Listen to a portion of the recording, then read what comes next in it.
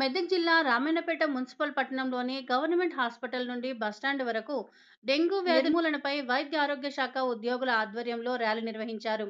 ఈ ర్యాలీని municipal chairman పల్లె జితేందర్ గౌడ్ జెండా ఊపి ప్రారంభించారు. ఈ కార్యక్రమంలో డాక్టర్ హరిప్రియ మరియు ఇతర వైద్యులు వైద్య సిబ్బంది తదితరులు ర్యాలీలో పాల్గొని దోమల నివారణకు తీసుకోవలసిన జాగ్రత్తలపై నినాదాలు చేస్తూ పట్టణంలో ర్యాలీ నిర్వహించారు. చైర్మన్ గారి ఆధ్వర్యంలో ర్యాలీ జరపడం అవుతుంది టోటల్ మెదక్ డిస్టిక్లో ఫార్టీ టూ డెంగ్యూ కేసెస్ నమోదయ్యాయి. టోటల్ రామాయణపేట్ మండలంలో మాత్రం సిక్స్ కేసెస్ ఉన్నాయి. ఏ డెత్ కేసెస్ అయితే లేవు అందరికీ ట్రీట్మెంట్ అందజేస్తూ ప్రతి ఒక్క డెంగ్యూ కేసుని మేము కంట్రోల్ చేద్దామని కోరుకుంటున్నాము. డెంగ్యూ కేసెస్ ఎందుకు వస్తాయంటే దోమకాటు వల్ల వస్తాయి. ఆ దోమకాటు వల్ల మనం ఇంట్లో పరిశుభ్రతగా ఉంటూ చుట్టుపక్కల కూడా పరిశుభ్రతగా ఉండాలని కోరుకుంటున్నాను. ఏదైతే వాటర్ నిల్వ ఉందో ఆ నిల్వ ఉన్న వాటర్ అన్నీ ఎప్పటికప్పుడు క్లీన్ చేసుకుంటూ చుట్టుపక్కల కూడా పాత టైర్లు కానీ లేకపోతే యూజ్ చేసిన కొబ్బరి బొండాలు కానీ వాటర్ ట్యాంక్స్ పైన మెష్ కట్టడం కానీ అవన్నీ చేస్తే దోమలు రాకుండా ఉంటాయి. సెప్టిక్ ట్యాంక్స్ దగ్గర కూడా. అండ్ అదేవిధంగా దోమలు అనేది ఇంట్లో కూడా గుడ్ లక్ ప్లాంట్స్ అని చాలామంది పెట్టుకుంటారు. ఆ వాటర్ దగ్గర వాటర్ కూడా ఎవ్రీ ఆల్టర్నేట్ డే క్లీన్ చేసుకోవాలి. ఏ వాటర్ కూడా నిల్వ లేకుండా చూసుకోవాలని కోరుకుంటున్నాను. ఇంట్లో ప్రతి ఒక్కరు ఆల్ అవుట్ కానీ లేకపోతే దొంగ తెరలు కానీ యూజ్ చేయాలని. అందరికీ నమస్కారం. ఇంకా రామాయణపేట ప్రజలకి చెప్పాలంటే మాకు చైర్మన్ సార్ ఆధ్వర్యంగా మళ్ళీ జిల్లా వైద్య ఆరోగ్య శాఖ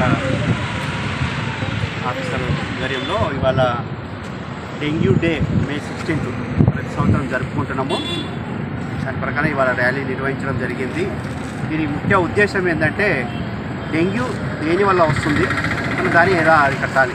అని ప్రజలకి వివరించి చెప్పడం.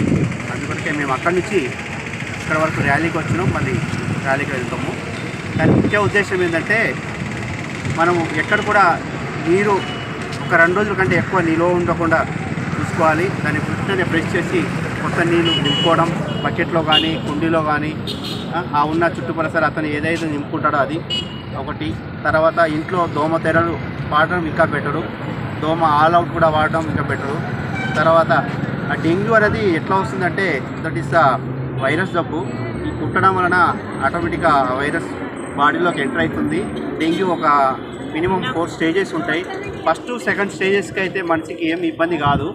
ఓకే? ఒకవేళ అంతగా ఫీవర్ వస్తుంది అంటే మీరు వెంటనే మన కమ్యూనిటీ హెల్త్ సెంటరు ఎప్పుడు అవైలబుల్ డాక్టర్స్ ఉంటారు.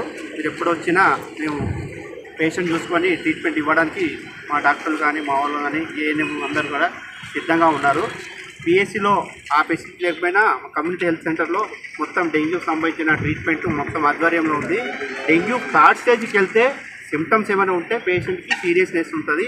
ఆ సిమ్టమ్స్ ఏముంటాయంటే అప్పటికప్పుడు దురద రావడం ఒకటి లేదంటే యూరిన్లో కలరు రెడ్ రావడం లేదా నోట్లో నుంచి ఏమైనా రక్తం రావడం అట్లా సిమ్టమ్స్ ఉంటే అతను మేము చెప్పినప్పుడే అప్పుడు రిపేర్ వెళ్ళాల్సిన అవసరం ఉన్నది. లేదంటే అప్పటి వరకు కమ్యూనిటీ హెల్త్ సెంటరు ఇక్కడ కూడా మాతోని కాకపోతే మేము జిల్లాతో మాట్లాడేసి జిల్లా హాస్పిటల్కి పంపించడం జరుగుతుంది.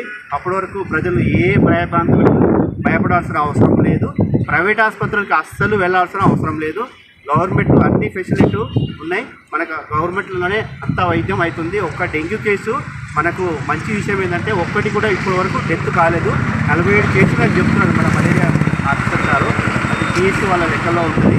అయితే ఇప్పుడు ఈ ఒక్క కేసు కూడా డెత్ కాకపోవడానికంటే మనం ఉన్న టీం ఎంత మంచిగా వర్క్ చేస్తున్నాం అనేది మనకు అర్థమవుతుంది.